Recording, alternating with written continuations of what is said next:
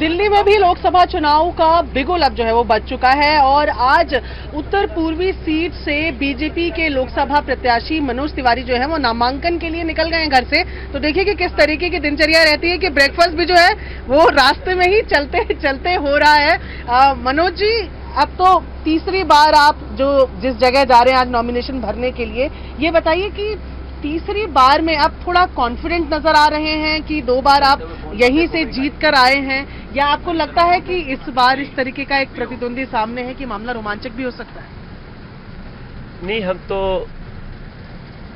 अपने कार्यों की बदौलत ईश्वर की कृपा, जगदम्बा माँ विंध्यवासिनी के आशीर्वाद और लोगों से जो व्यवहार है उसके आधार पे एक बार फिर से हम पार्टी ने हमको मौका दिया है आज जा रहा हूँ नामांकन करने।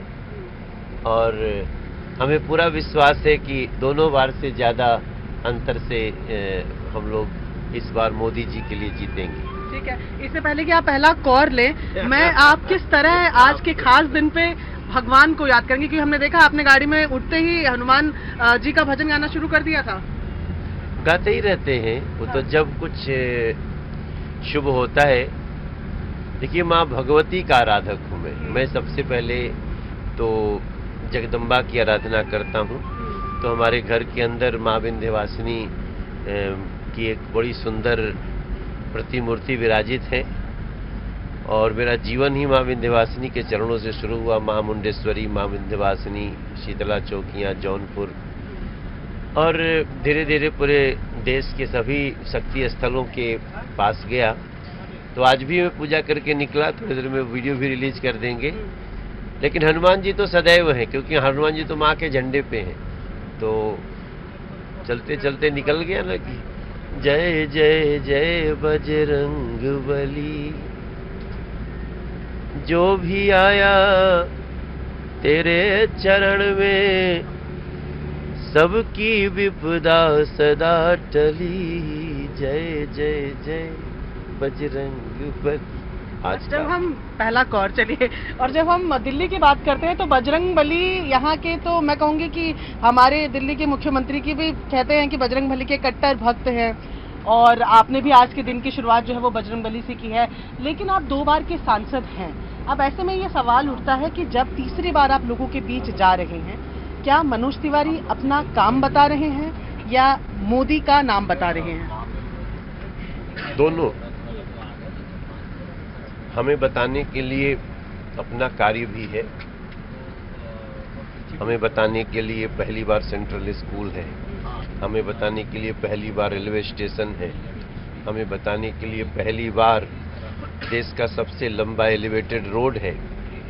हमें बताने के लिए ट्रैफ़िक जामों से की गई जो मुक्ति है, चाहे वो शास्त्री पार्क का चौराहा हो, खजूरी हो, करावल नगर हो, सिग्नेचर ब्रिज है हमारे पास, मेट्रो का ट्रिपल डेकर है।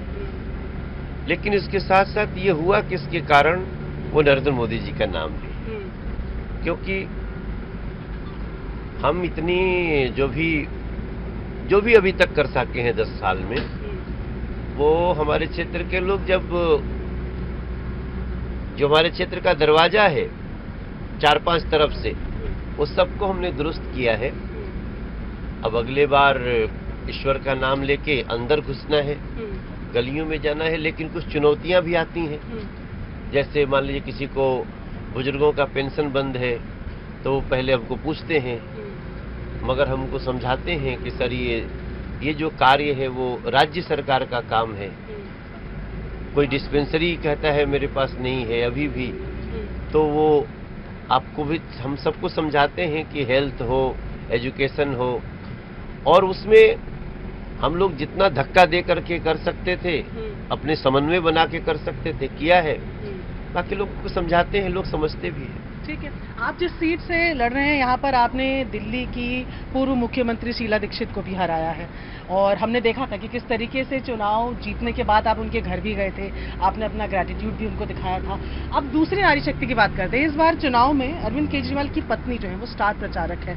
दो विधानसभा, दो संसदीय क्षेत्रों में वो कैंपेनिंग भी कर चुकी है और संभवतः आपके यहाँ भी हालाँकि कांग्रेस के जो कन्हैया कुमार हैं, वो लड़ रहे हैं, वो वहाँ पर भी आएँगी। एब्सेंस जो है अरविंद केजरीवाल की। क्या आपको लगता है आप लोगों के लिए भारी पड़ सकती है? क्योंकि सुनीता केजरीवाल की कैंपेन करने से सिंपैथी बहुत होगी। जरा भी सिंपैथी नहीं है। देखिए सिंपैथी तब होती है जब आपकी इमेज अच्छी हो। जब आप दिल्ली को पानी के लिए तड़पा रहे हैं, साफ़ पानी के लिए तड़पा रहे हैं, और टूटी गलियों से पानी के जल जमाव से मतलब ये मेन रोड छोड़ दीजिए। द्वारका एक्सप्रेस प्रगति मैदान का टनल 709 बी का एलिवेटेड रोड धौला कुआँ ये एन एच ट्वेंटी फोर ये सब छोड़ दीजिए जो मेन मेन सड़कें हैं।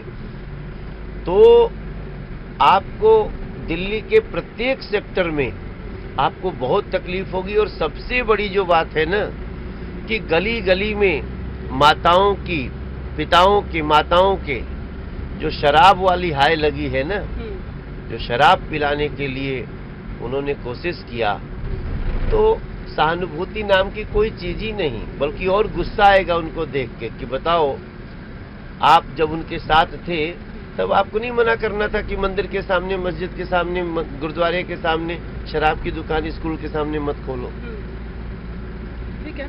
तो ये आप कह रहे हैं कि सुनीता केजरीवाल की तो कोई सिंपति नहीं है लेकिन जो आपके इंडिया गेट। इंडिया गेट की भी तस्वीरें देखिए। इंडिया गेट भी, भी क्रॉस कर रहे हैं यहाँ पर और यहाँ आप मनोज जी को सैल्यूट करते हुए भी देख रहे हैं। जहाँ वो सुभाष चंद्र बोस को अपना सलाम भी कर रहे हैं। तो आप दोबारा लुटियन जोन से बाहर निकले हम तो आप कह रहे हैं कि सुनीता केजरीवाल को कोई सिंपैथी नहीं मिलनी है। कन्हैया कुमार के बारे में आपकी क्या राय है? क्योंकि जब से उनका नाम आया है तो आपको क्या लगा कि चलिए आप चुनाव में मज़ा आएगा? या आपको लगा कि जो पाँच लाख वोटों की आप बात कर रहे थे, उसका मार्जिन बढ़ेगा, घटेगा क्या? देखिए, मेरा मानना है कि दिल्ली टुकड़े टुकड़े गैंग का विचार। ऊपर से कम्युनिस्ट विचारों से सना हुआ, वो एक्सेप्ट नहीं कर सकता। इसलिए कांग्रेस ने जो कन्हैया कुमार पे भरोसा दिखाया है तो इसमें कांग्रेस की पूरी मानसिकता दिख गई है। इसलिए हम क्या बोले, उनके अंदर ही पार्टी में जो हो रहा बहुत है। आप वो देख लीजिए। हम्म। तो मेरे हिसाब से हमारे लिए ये कोई चुनौती नहीं है ये कांग्रेस के लिए चुनौती। हाँ क्योंकि अरविंदर सिंह लवली ने रिजाइन दे दिया। आज दो और उनके बड़े जो कांग्रेस के नेता थे उन्होंने रिजाइन दे दिया। तो ये बाहरी वाला फैक्टर जो है वो कह रहे हैं कि भाई अपने ही कार्यकर्ताओं का जवाब देते नहीं बन रहा है। वो कह रहे हैं कि आपने बाहर से लाके कैंडिडेट खड़े कर दिए वो चाहे कन्हैया की बात हो। उदित राज के लिए भी यही बातें सामने आ रही है।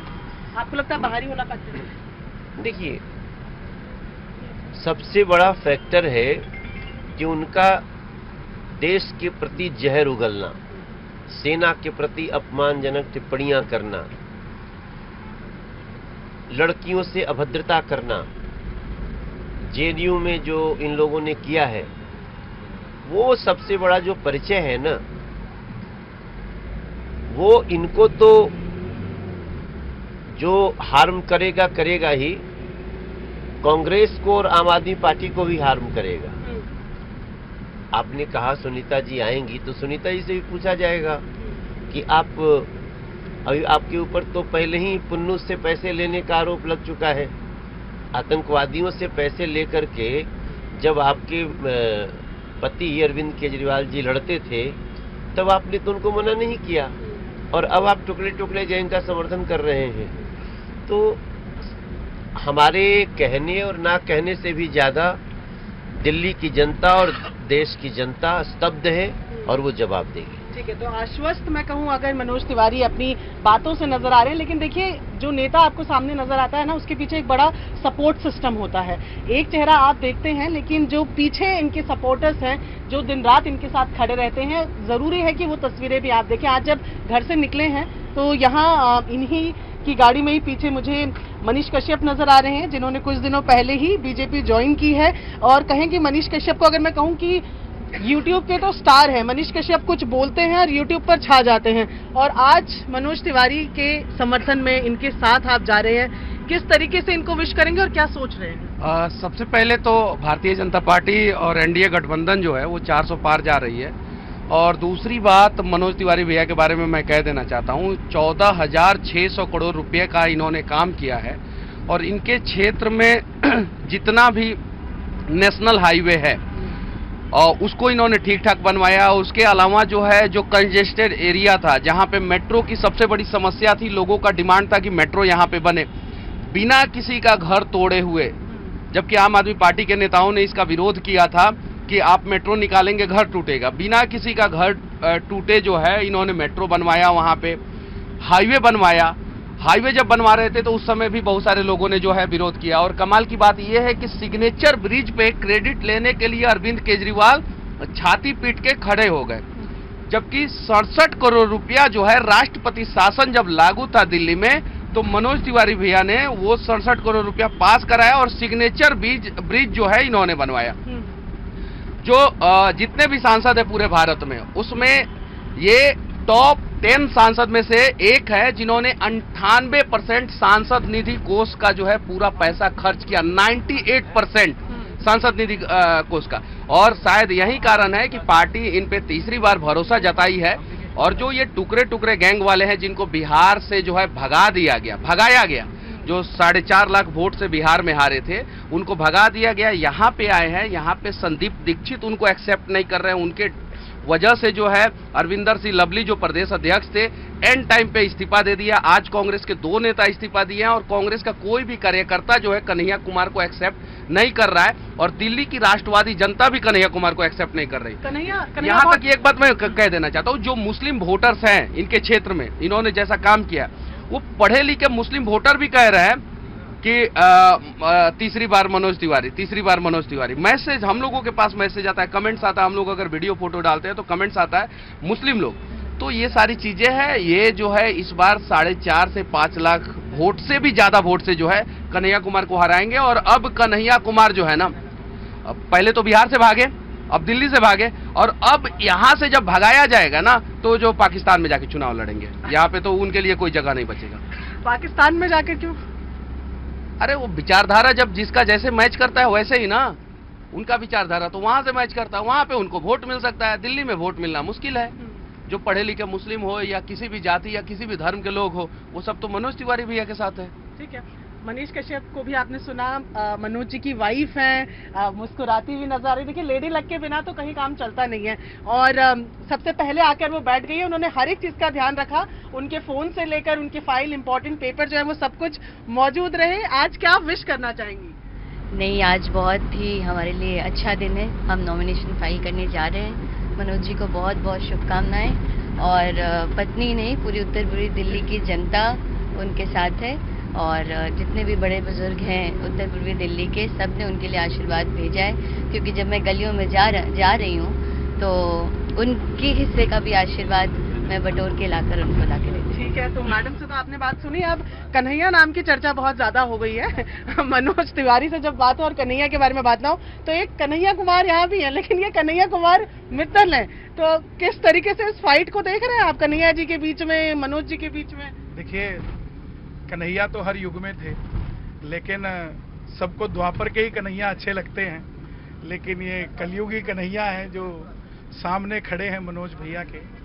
ज़्यादा कुछ नहीं कहेंगे, मनोज भैया को जो लोग पर्सनली जानते हैं, वो इन्हें बहुत प्यार करते हैं और ये समझते हैं कि गरीब के दुख को देखकर ये रो देते हैं। जो इंसान इतना इमोशनल हो, दुनिया हमेशा नेता को नेता ही समझती है, कभी उसके दिल को नहीं समझती। तो मुझे ऐसा लगता है कि जिस तरीके से भैया अपने क्षेत्र को और क्षेत्र के लोगों को संभालते हैं एक पिता जैसे अपने बच्चों को संभालता है एक माँ जैसे अपने बच्चों के लिए इमोशनल होती है वैसे ही है। घर के आगे कोई आ, कोई सिरिंज लगाकर कोई आ, कोई हाथ में आ, कोई मरीज़ खड़ा है कोई जरूरतमंद खड़ा है हर कोई इनके घर के आगे खड़ा मिलता है। क्यों? क्योंकि उन्हें आस है कि हमारा सांसद हमारा भाई है बड़ा भाई है। तो एक यही इनकी सफलता का राज भी है कि हर किसी को साथ लेकर चलते हैं। और जो सामने कन्हैया कुमार है, मैं तो यही कहता हूँ कि जब टुकड़े टुकड़े भारत के करने की बात कोई कन्हैया करता है तो हमारे जैसे कन्हैया मित्तल को भी फिर साथ खड़ा होना पड़ता है राष्ट्रवाद के साथ। क्योंकि हमारे देश में तो कोई ऐसा माइकालाल है नहीं जो इस देश के टुकड़े करने की बात कर सके। हम तो 370 हटाने के बाद पीए, पीओके के पे बात करने जा रहे हैं और ये कहीं कुछ और ही बात करते हैं। ठीक है तो इंटरव्यू को अंत करने से पहले आप अगर कुछ सुना दें क्योंकि आप माहौल भी बन जाएगा और सबकी एनर्जी भी आ जाएगी। जो राम को लाए हैं हम उनको लाएँगे।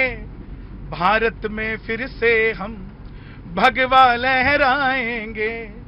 मोदी जी आए थे मोदी ही आएँगे। मनोज जी आए थे मनोज जी आएँगे दिल्ली में फिर से हम भगवा लहराएँगे। भारत में फिर से हम भगवा लहराएँगे। जी। बहुत खूब बहुत खूब। तो ये थे हमारे साथ पूरी टीम मनोज जी की जिनको एक बार हम तस्वीरों में दिखाते हैं, क्योंकि एक चेहरा जो है, वो अभी तक हम नहीं दिखा पाए हैं, जो पूरा सपोर्ट सिस्टम है तो नीलकांत जी को देखना भी ज़रूरी है। और ये तमाम वो लोग जो इनके कोर ग्रुप में मैं अगर कहूँ, जो दिल के बहुत करीब है और जो आज सब नॉमिनेशन के लिए जा रहे हैं, अपनी जीत को लेकर आश्वस्त नज़र आ रहे हैं मनोज तिवारी, और इनका कहना है कि अपना काम और साथ में मोदी जी का नाम, दोनों ही ऐसी चीज़ें हैं जिसको लेकर वो जनता के बीच जा रहे हैं। कैमरा पर्सन जय के साथ Priyanka Kandpal news eighteen India Delhi.